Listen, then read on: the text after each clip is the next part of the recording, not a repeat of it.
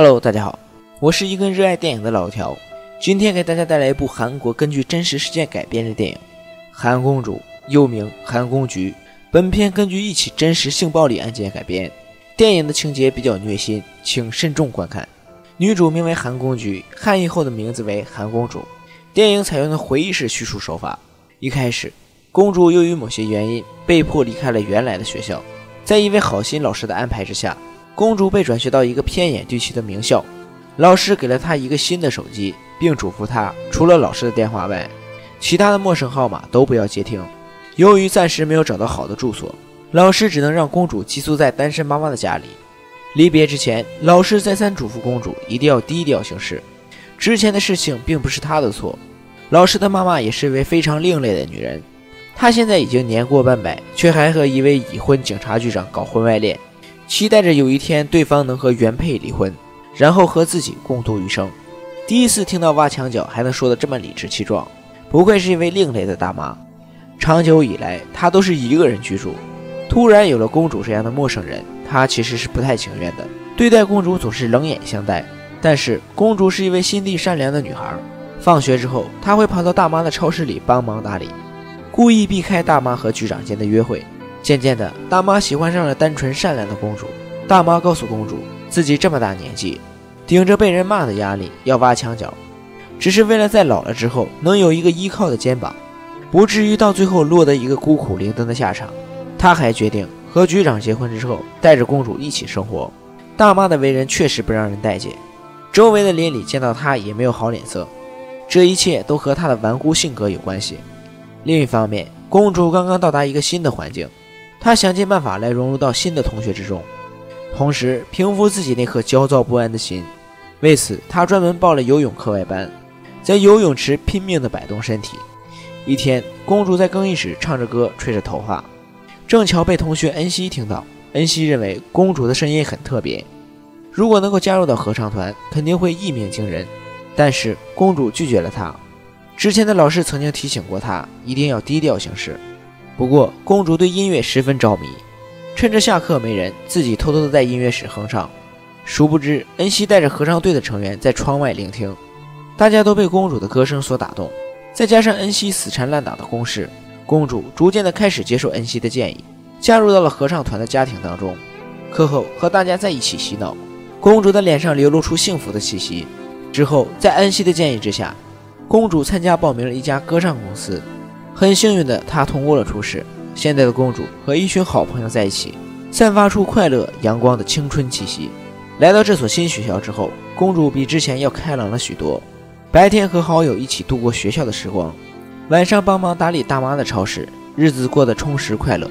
可是父亲的一个电话再次令她的宁静生活被打破。公主从小的生活就比较悲惨，父母离异，妈妈不管不顾。身为监护人的父亲是一个酒鬼，从来没有关心过公主。父亲约见公主，让她在一个不知名的协议上安了手印。几天之后，恩熙专门为她做了一个网页，里面有公主参加比赛的视频。本想着让公主开心一下，没想到她却大发雷霆。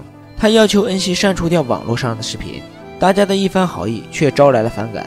合唱团的人生气和公主决裂，因为他们并不知道在公主身上发生过什么可怕的事情。一天，一个中年男子找到了公主，并呼喊其他寻找公主的人，在教室里面包围了公主，拿着手上的协议要让她签字。在一阵嘈杂声中，公主回忆起之前的事情。她原先有一个非常要好的闺蜜，两个人都是苦命的孩子，爹不疼娘不爱，两个人就这样相互依靠，照顾在一起。事情就要从闺蜜的男友说起，男友在学校总是受到恶霸的欺负。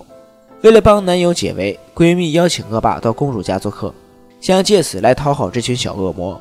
但是从历史记载的事件当中，恶霸一样的人讨好只会适得其反，助长他们嚣张的气焰，让他们会认为你是一个好欺负的人，而换来的结果就是变本加厉。